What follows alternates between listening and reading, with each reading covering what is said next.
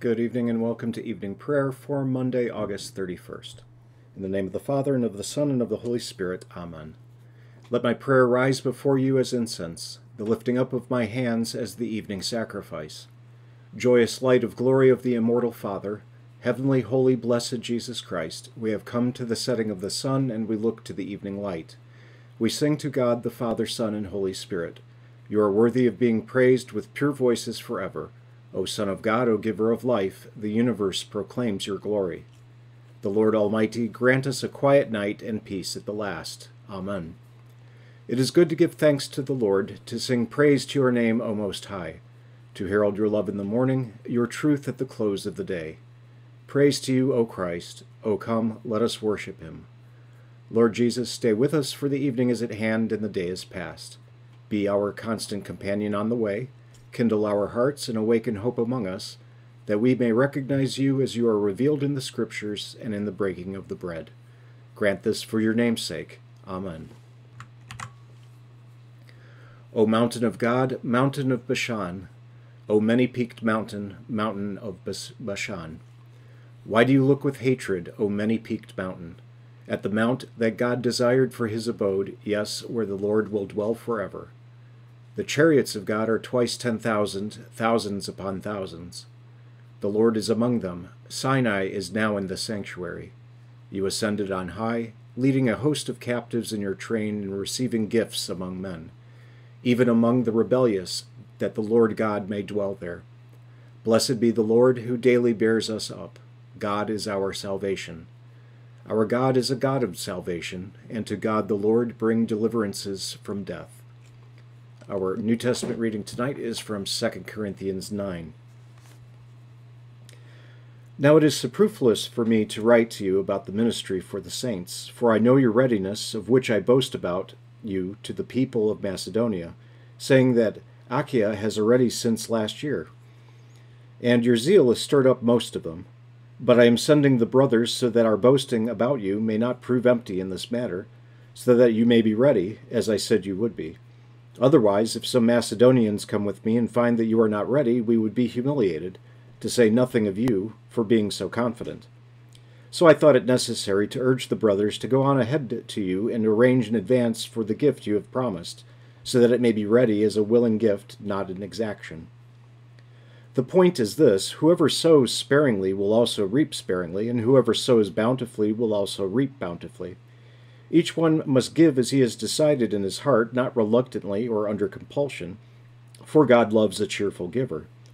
And God is able to make all grace abound to you, so that having all sufficiency in all things at all times, you may abound in every good work. As it is written, He has distributed freely, He has given to the poor, His righteousness endures forever. He who supplies seed to the sower and bread for food will supply and multiply your seed for sowing and increase the harvest of your righteousness.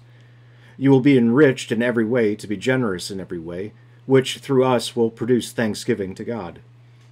For the ministry of this service is not only supplying the needs of saints, but is also overflowing in many thanksgivings to God. By their approval of this service, they will glorify God because of your submission, flowing from your confession of the gospel of Christ and the generosity of your contribution for them and for all others. While they long for you and pray for you because of the surpassing grace of God upon you, thanks be to God for his inexpressible gift. And our Book of Concord reading tonight is our second installment of Article 5 of the Apology of the Augsburg Confession called Love and Fulfilling the Law, which is a long article about good works and sanctification beginning in paragraph 38. No one can keep the law perfectly. Now let us reply to the objections stated above. The adversaries are right in thinking that love is the fulfilling of the law and that obedience to the law is certainly righteousness. But they make a mistake in this matter. They think that we are justified by the law. Since we are not justified by the law, we receive forgiveness of sins and reconciliation through faith for Christ's sake. This is not because of love or the fulfilling of the law it follows necessarily that we are justified through faith in Christ. In the second place, this fulfilling of the law or obedience toward the law is indeed righteousness when it is complete, but it is small and impure in us. So our righteousness is not pleasing for its own sake and is not accepted for its own sake. From what has been said above, it is clear that justification means not the beginning of the renewal, but the reconciliation by which we are accepted afterward. It can now be seen much more clearly that starting to fulfill the law does not justify because such fulfillment is only accepted on account of faith. Nor must we trust that we are accounted righteous before God by our own perfection and fulfilling of the law, but rather for Christ's sake. In the third place, Christ does not stop being our mediator after we have been renewed. They err who imagine that he has merited only a first grace, and that afterward we please God and merit eternal life by our fulfilling of the law. Christ remains mediator, and we should always be confident that for his sake we have a reconciled God, even though we are unworthy. Paul clearly teaches this when he says, I am not aware of anything against myself, but I am not thereby acquitted. 1 Corinthians 4 4. Paul knows that through faith he is counted righteous for Christ's sake, according to the passage, Blessed is the one whose transgression is forgiven. Psalm 32 1. See also Romans 4 7. But this forgiveness is always received through faith. Likewise, the credit for the righteousness of the gospel comes from the promise. Therefore, it is always received through faith. It must always be regarded as certain that we are counted righteous through faith for Christ's sake. If the regenerate afterward think that they will be accepted because of the fulfilling of the law, when would a conscience be certain that it pleased God? We never satisfy the law. So we must always run back to the promise. Our infirmity must be recognized in this matter. We must regard it as, a, as certain that we are counted righteous for the sake of Christ, who is at the right hand of God, who is indeed interceding for us. Romans 8:34. If anyone thinks that he is righteous and accepted because of his own fulfillment of the law and not because of Christ's promise, he dishonors this high priest. This cannot be understood. How could someone imagine that a person is righteous before God when Christ is excluded as the atoning sacrifice and mediator? In the fourth place, what need is there of a long discussion? All Scripture, all the Church cries out that the law cannot be satisfied. Therefore, starting to fulfill the law does not please on its own account, but on account of faith in Christ.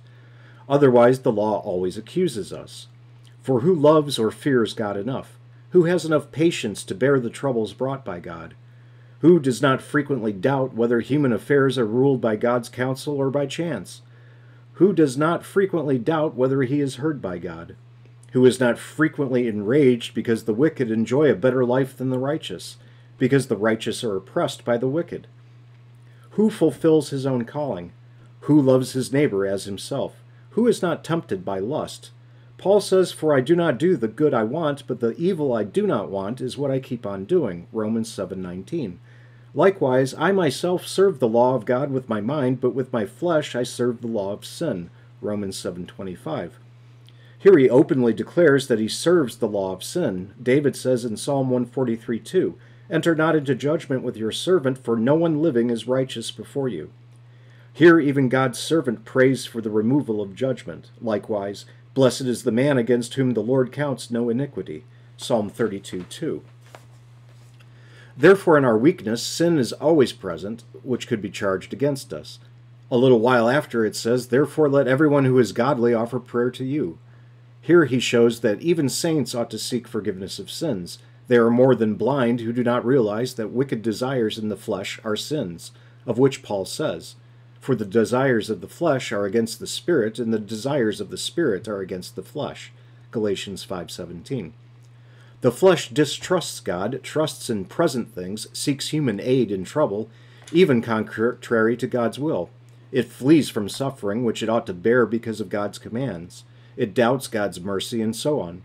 The Holy Spirit in our hearts fights against such tendencies in order to suppress and kill them, and to produce new spiritual motives. We will collect more testimonies below about this topic, although they are clearly everywhere, not only in the Scriptures, but also in the Church Fathers. The Church Fathers and St. Paul affirm justification through faith. Augustine well says, All God's commandments are fulfilled when whatever is not done is forgiven. Therefore, he requires faith even in good works. He says this to show that we may believe we please God for Christ's sake, and even our works are not worthy and pleasing of themselves. Jerome against the Pelagians says, Then we are righteous when we confess that we are sinners, and that our righteousness stands not on our own merit, but in God's mercy. Therefore, when starting to fulfill the law, faith ought to be present, which certainly believes that we have a reconciled God for Christ's sake. For mercy cannot be received except through faith, as has been repeatedly said above. Paul says in Romans 3:31, "Do we then overthrow the law by this faith? By no means. On the contrary, we uphold the law." The law. Here is what we ought to understand. People regenerated through faith not only receive the Holy Spirit and have motives that agree with God's law, but we ought also to realize that they are far distant from God from the law's perfection. This point has the greatest importance by far, and we must add it to the argument also. We cannot conclude that we are counted righteous before God because of our fulfilling of the law. Justification must be sought elsewhere in order that the conscience may become peaceful. For we are not righteous before God as long as we flee from God's judgment and are angry with God. Therefore, we must conclude that we are counted righteous for Christ's sake, being reconciled through faith. This is not because of the law or our works. Because of faith, beginning to fulfill the law pleases God. Because of faith, there is no charge that we fulfill the law imperfectly, even though the sight of our impurity terrifies us. If justification is to be sought elsewhere, our love and works do not justify. Christ's death and satisfaction ought to be placed far above our purity, far above the law itself. This truth ought to be set before us so that we can be sure of this we have a gracious God. Excuse me. Mm. We have a gracious God because of Christ's satisfaction and not because of our fulfilling the law. Paul teaches this in Galatians 3:13 when he says, "Christ redeemed us from the curse of the law by becoming a curse for us." This means that the law condemns all people, but Christ, without sin, has borne the punishment of sin. He has been made a victim for us and he has removed that right of the law to accuse and condemn those who believe in him. He himself is the atonement for them. For his sake they are now counted righteous. Since they are counted righteous, the law cannot accuse or condemn them, even though they have not actually satisfied the law. Paul writes the same way to the Colossians, you have been filled in him, Colossians 2:10. This is like saying, although you are still far from the perfection of the law, the remnants of sin do not condemn you. For Christ's sake, we have a sure and firm reconciliation, if you believe, even though sin dwells in your flesh. The promise should always be in sight. Because of his promise, God wishes to be gracious and to justify for Christ's sake, not because of the law or our works. In this promise, timid consciences should seek reconciliation and justification. By this promise, they should sustain themselves and be confident that they have a gracious God for Christ's sake, because of his promise. So works can never make a conscience peaceful. Only the promise can. If justification and peace of conscience must be sought in something other than love and works, then love and works do not justify. This is true even though they are virtues and belong to the righteousness of the law, insofar as they are a fulfilling of the law. Obedience to the law justifies by the righteousness of the law, if a person fulfills it, but imperfect righteousness of the law is not accepted by God unless it is accepted because of faith. So legal righteousness does not justify, that is, neither reconciles nor regenerates, nor by itself makes us acceptable before God. From this it is clear that we are justified before God through faith alone. Through faith alone we receive forgiveness of sins and reconciliation, because reconciliation or justification is a matter promised for Christ's sake, not for the law's sake. Therefore, it is received through faith alone, although, when the Holy Spirit is given, the fulfilling of the law follows. And we will continue with that tomorrow evening. Our next section of this article is the reply to the adversary's arguments, which is always interesting stuff. We now join together in the Apostles' Creed and the Lord's Prayer. I believe in God the Father Almighty, maker of heaven and earth and in Jesus Christ, his only Son, our Lord, who was conceived by the Holy Spirit, born of the Virgin Mary, suffered under Pontius Pilate, was crucified, died, and was buried. He descended into hell. The third day he rose again from the dead. He ascended into heaven, and sits at the right hand of God the Father Almighty. From thence he will come to judge the living and the dead. I believe in the Holy Spirit, the holy Christian Church, the communion of saints, the forgiveness of sins, the resurrection of the body, and the life everlasting. Amen. Our Father, who art in heaven, hallowed be thy name. Thy kingdom come, thy will be done, on earth as it is in heaven. Give us this day our daily bread, and forgive us our trespasses, as we forgive those who trespass against us. And lead us not into temptation, but deliver us from evil. For thine is the kingdom, and the power, and the glory, for ever and ever. Amen.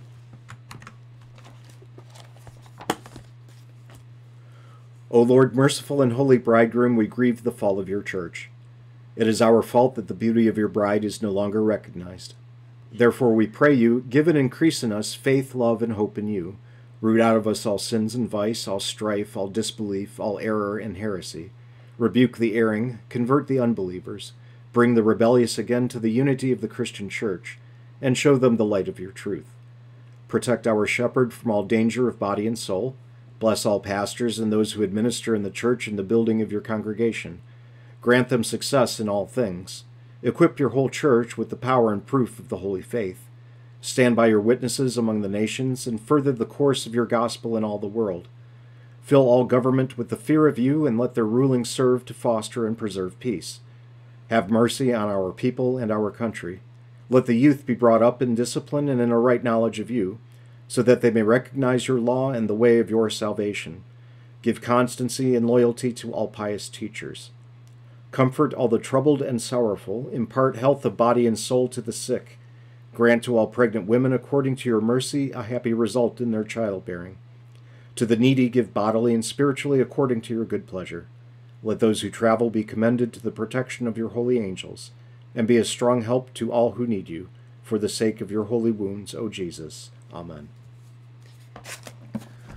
O God, the source of all that is good, nourish us in every virtue and bring to completion every good intent, that we may grow in grace and bring forth the fruit of good works. Through Jesus Christ our Lord, who with you and the Holy Spirit are one God, now and forever. Amen. I thank you, my heavenly Father, through Jesus Christ, your dear Son, that you have graciously kept me this day and I pray that you would forgive me all my sins where I have done wrong, and graciously keep me this night. For into your hands I commend myself, my body and soul, and all things. Let your holy angel be with me, that the evil foe may have no power over me. Amen. Let us bless the Lord. Thanks be to God. Good night.